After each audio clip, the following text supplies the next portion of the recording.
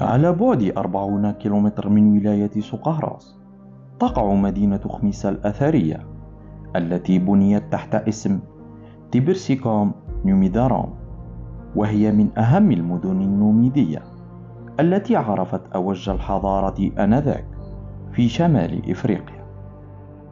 تبرسيكوم نوميدارام أو خميسة منطقة تقع في أغاست هذه المدينة الأثرية والحضارية.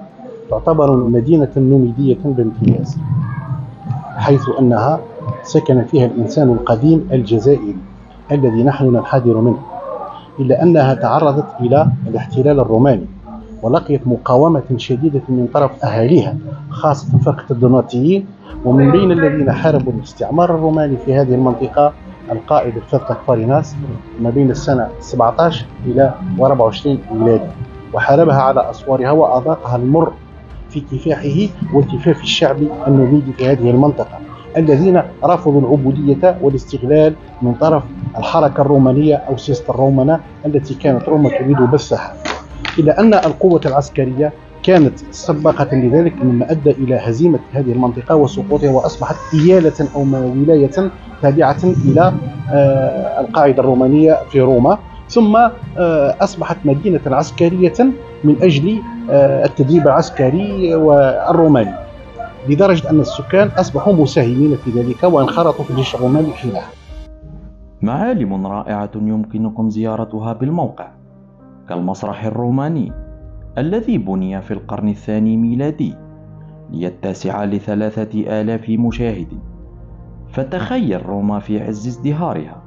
وهي تحتفل. نقول أن نميد رام تربيسيكوم أو خميسة تشتهر بمسرحها الشاسع جاء على قاعدة ثلاثية.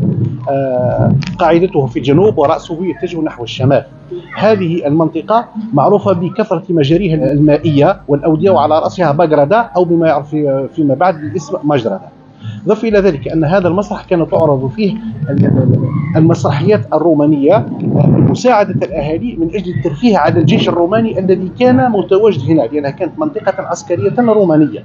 أما مدينة الاستقرار والراحة والاستجامة هي كانت مدينة مادور يعني لي فيتيرون من منطقة مادور عفوا خميسة يذهبون إلى مادور ويستقرون هناك.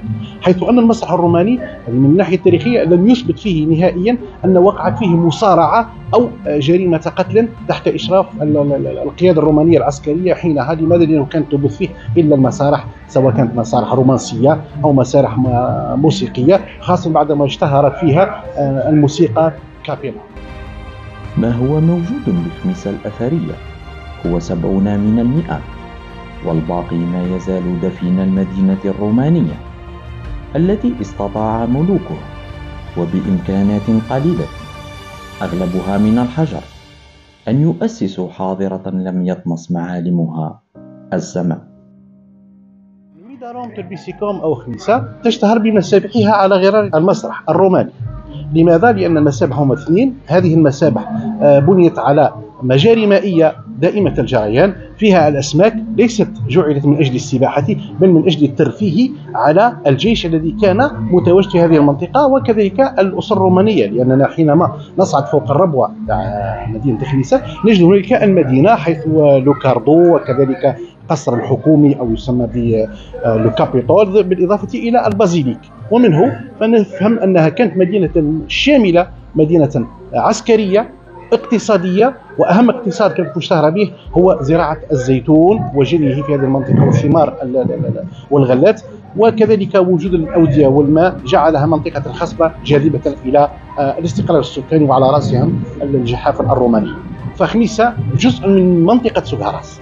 فهي مجلبة للسياحة. علينا أن نهتم بها حتى نجعلها قطبا سياحيا لماذا؟ لأن كل مواصفات السياحة قائمة فيها. تحتاج إلى تثمين وإثراء والتعريف بها أكثر فأكثر وهذا دعوة سواء إلى المسؤولين أو إلى الشباب الذي يريد أن يستثمر في هذا المجال فهو مجال خصب سوق هراس الحضارة سوق هراس التي ذاع صيتها منذ فجر التاريخ عرفت بمدينة الكنز أي طاقست وعرفت بمدينة الأسود. ويكفي أن سكانه أسود قارعوا الاستعمار الفرنسي وحاربوه وطرد من الجزائر. زيرتوب أول قناة إلكترونية في الجزائر.